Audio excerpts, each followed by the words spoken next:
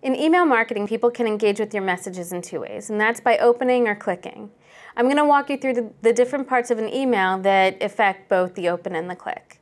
So first, you have your list selection. You want to make sure that you're selecting the appropriate list so that way your message is relevant when people receive it. Next, you have your inbox. So in your inbox, the things that will affect your open are the day and time that you're sending it, who you're sending it from, your subject line, and the pre-header.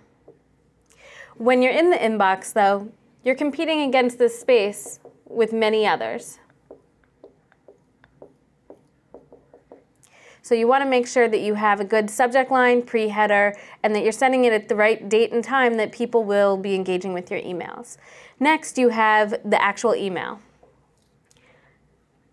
So in the email, you can either choose to show the pre-header or have it hidden. And usually there's a little bit of a logo, some hero space here. People can have text or call to actions in the hero space as well as images.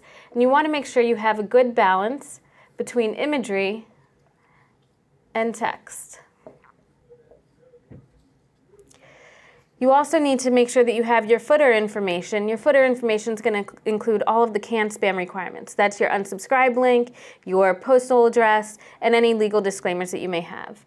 You can also have some social icons here or choose to put them in the upper. You want to make sure that you have them though so people can engage in many ways.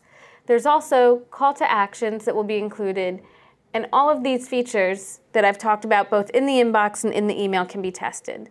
When you're testing, you want to make sure that you're testing one thing at a time so that you can really read your results. And if you like this video, please feel free to watch all of our others.